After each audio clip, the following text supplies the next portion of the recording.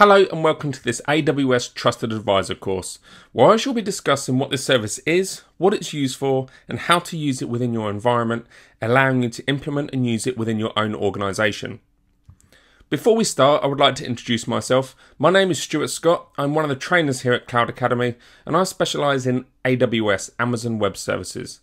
Feel free to connect with me with any questions using the details shown on screen Alternatively, you can always get in touch with us here at Cloud Academy using the community forum where one of our cloud experts will reply to your question. As a prerequisite to this course, I recommend that you have a basic understanding and awareness of AWS and some of its common services. This is down to the fact that Trusted Advisor provides recommendations and best practices across a range of other AWS services.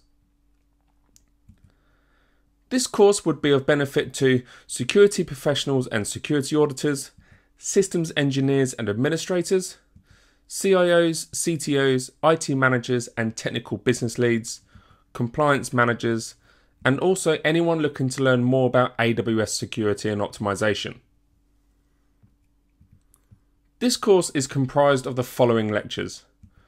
I'll start off by talking about what is AWS Trusted Advisor, and in this lecture I will explain what the service actually is and does before we dive deeper into how it works and its management. Then I'll look at reviewing checks and taking action. Here I'll discuss some of the Trusted Advisor checks which are accessible to everyone. I also include a demonstration providing an overview of the Trusted Advisor dashboard. Controlling access to Trusted Advisor. This will be a demonstration lecture that will show you how to configure different levels of access for Trusted Advisor using IAM policies. I'll then look at how to monitor AWS Trusted Advisor with Amazon CloudWatch, and within this lecture I explain how it's possible to utilize CloudWatch events to monitor and react to changes within Trusted Advisor. A demonstration is also provided to show you how to configure this. And then finally a summary, and this lecture simply summarizes key elements taken from the previous lectures. There are a number of learning objectives to this course. You'll understand the purpose and benefits of Trusted Advisor. You will learn how to navigate the Trusted Advisor console.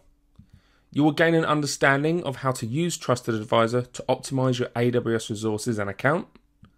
You'll understand how to take actionable steps with Trusted Advisor to improve your AWS infrastructure. You will also see how to configure different methods of granting access to Trusted Advisor. And finally, you will understand how Amazon CloudWatch can monitor and react to changes within AWS Trusted Advisor. Feedback on our courses here at Cloud Academy are valuable to both us as trainers and any students looking to take the same course in the future. If you have any feedback, positive or negative, it would be greatly appreciated if you could use the comment section found on the landing page of this course. That now brings me to the end of this lecture. Coming up next, I'll be answering the question, what is AWS Trusted Advisor?